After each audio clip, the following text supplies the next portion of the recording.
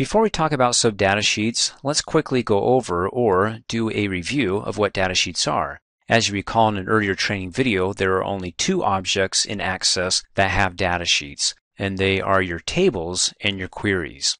Now by default, when you open up either one, it goes to the datasheet view. You have a sheet that contains your data that you can edit or add additional records to. And you can see there's the customers table that I have open. And how do you know it's a table? Well, by that little icon. And how do you know you're in the datasheet view? Mm, by what you see up here on the Home tab in the Views group as its opposite. Meaning that if you want to go to another view, like the design view that has a pencil and ruler, when you click on it, flips it over. Now it flips back to the datasheet view with the datasheet icon. So that means you're not in it. It means if you want to view it, then you got to click on it. So you can see there's the design, click on view, and we go back to the datasheet view. And the same with our queries, double click. Default opens up in the datasheet view, and then you get the design button, click on it. Different design than your tables, and then to go back to the datasheet view of the query, click on it, and we're back. Let's go ahead and close out of the query here. Now that you know what datasheets are, you can actually have what are called sub-datasheets. And the definition is that they are datasheets nested within datasheets, or like tables within tables, but that are related and can be expanded to review related data. Now, I don't know if you noticed this, but when I open up my customers table, I get these little plus signs here. That means that if I click on any one of these, it's going to open up and find the related table. Actually, not find, there actually is a related table to the customer table, but which one is it? Or how many related tables do I have to the customers table? Well, let's find out. Let's click on this one. And it opens up a related table. And this isn't the only table, but we'll go over that in just a minute. But it picks one of them, and this one is the, let's see, order ID is the label for this column, order date. I'm thinking it's the orders table because in there, when you double click, you have the order ID, the order date, and so on. Let's go ahead and close out of that. And so what's cool about this is that if a customer calls in like Happy Town Play World and I'm already in their subdata sheet for the orders that they made and they want to make a new order, well, I can just come down here. By default, we've got the order date. I can change that.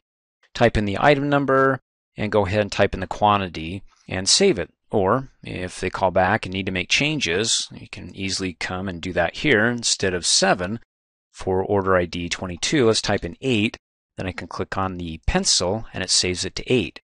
So, order ID 22, when I open up the orders table, I scroll down to 22, is it 7? No, it's 8. And vice versa, if I make a change here and I change it back to 7, hold down the shift key and hit enter to save the record, and I close out of here, is it, oh, it went back to 7. So what you do in one affects the other, vice versa, because it's related.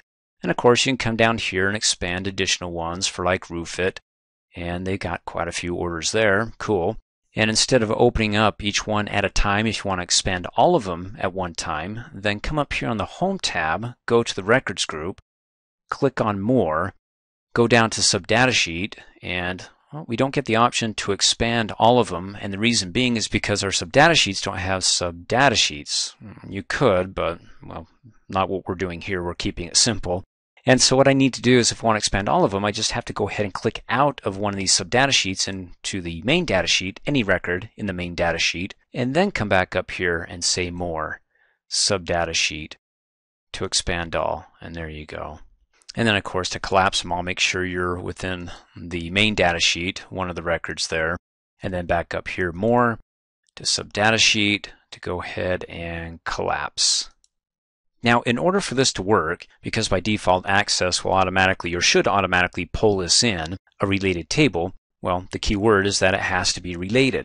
So the customer table is related to the orders table, and if you recall in an earlier training video, when you come up here and click on the Database Tools tab, go to the Relationships group and click on Relationships. Hey, there we go. Our customers table is related to the orders table and it's a one-to-many, as opposed to the one-to-one relationship with our billing information. So when it comes to contacting our customers and bill them, I just want to talk to one person and not many. Somebody who takes care of all their billing that we can go ahead and get them to pay up through that one person and not many. So we got the one to one. Now, if I want to go ahead and go back to my data sheet for the customers table and say, no, no, no, no, no. I don't want it to go to the orders table. I want it to go to the billing info table. That's who I want to see as a subdata sheet.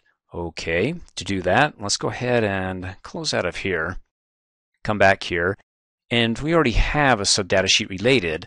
Well, if you want to remove it, then just go ahead and come up here, click on More, go down to Subdata Sheet, and Remove.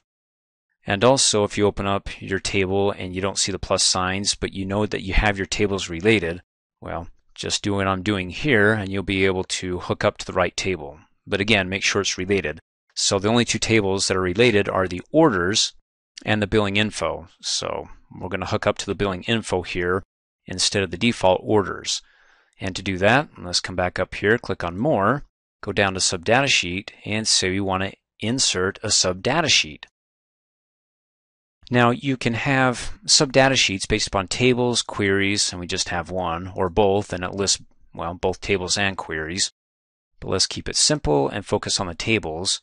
And then down below you have the fields that you link to in order to be able to identify the primary key to the foreign key field so you can link the tables and have the, well, in the main data sheet, the sub data sheet or the related table pull up as the sub data sheet. And so here, if I want to be able to have it related to the billing info, then I need to select that. Because if I don't have it selected, then I'm not going to get what I want down here. It may be something else, like orders. So the master field is the table that I'm currently in that I want to link up the child as a sub data sheet into the main table. And so when I click on the drop down arrow, I got the customer ID, right? But that's for the orders table if I want to link it to the orders table and pull the orders table in as a sub data sheet. Don't want to do that. Want to do it for the billing info and then click on the master and you get a list of all the fields.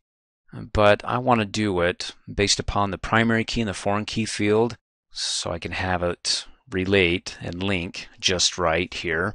You got the other fields you can link to if there is another field that's named differently. And that's why I have my foreign key fields. So that's the primary key field in my table here, the main table. The foreign key field again named the same name as the primary key because if not and I go to the billing info and I'm trying to find the customer ID foreign key field that has the same data type and type of data as the primary key field in the customers table, unless you can remember, that's going to be hard, but that's easy, right? Customer ID to customer ID. So it's that simple. Click Okie dokie and we're done. So when I go ahead and click on one of these plus signs, it pulls up the information as a subdata sheet from the billing info table to the main table here, the customers table.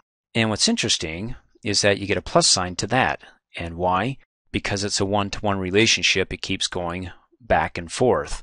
So for like Ghost Hunters America, the customer name, we bill Brett Maroon over at Ghost Hunters America, and we contact this person.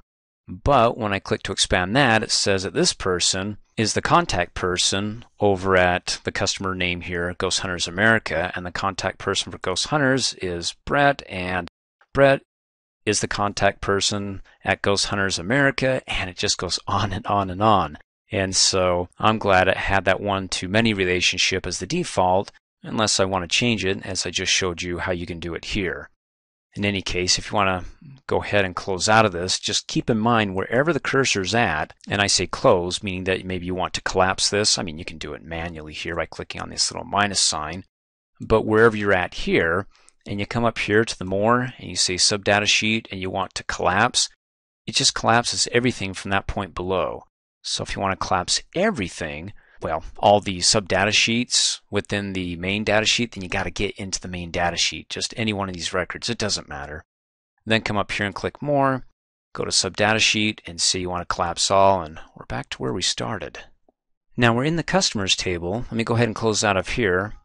And we won't save the layout, we'll just say no. So when I double click and open up the customers table and I expand it, it goes back to the default, which was the orders table instead of me changing and saying, no, let's go ahead and link up as a subdata sheet to the billing info. So keep that in mind that if you want to save the layout, then in our case, it was the most recent link that we connected with, which was the billing info table. Now, having said that, let's go to the orders table. Double click.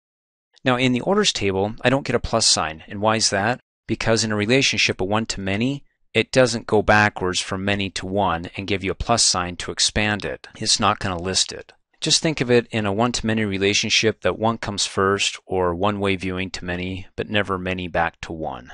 But nevertheless, you can go ahead and do it and it will insert it. It's just not done by default in a one-to-many relationship where the many relationship, in this case the order table, will list it. So if you want to force it, because by default it's not showing it, a subdata sheet back to the one relationship in this one-to-many relationship, that is from the orders to the customers. Then go ahead and click anywhere within here, of course, and come up here, click on More. Go down to Subdata Sheet, to Subdata Sheet, and we want to go to the customers. And now the name of the primary key field here, the master field, is always going to be the current table that you're in, or query. And so the primary key field, customer ID, perfect. And then the link child field, or the customer table, the subdata sheet that we want to insert, or the data sheet as a subdata sheet into the main data sheet, is also customer ID. I mean, Access is going to find it and default it for you, unless of course you want to change it, but I'm not going to do that, mess with it. So I don't have to click on the drop down arrows and find it unless of course you have it listed under a different name, in which case it should still find the same data type or type of data and be able to pull it up. But it just makes it easier for me to go, oh, customer ID to customer ID, the primary key to the foreign key field, in the customers table. Click Okie dokie. And let's go ahead and expand it to find out who made the order, order ID 5, and it was Ghost Hunters America. Then I can expand that and find out that Ghost Hunters America had not only this order that they made, order ID number 5 on this date, but, well, there it is, number 5, but one before that, order number 4, and all the rest of the orders. And then, of course, you can expand that, and it just goes in a never ending loop. So let's go ahead and click out of that and come up here and do something more, which is going to be sub data sheet to remove to get us back to something less where we have no sub data sheet in the orders.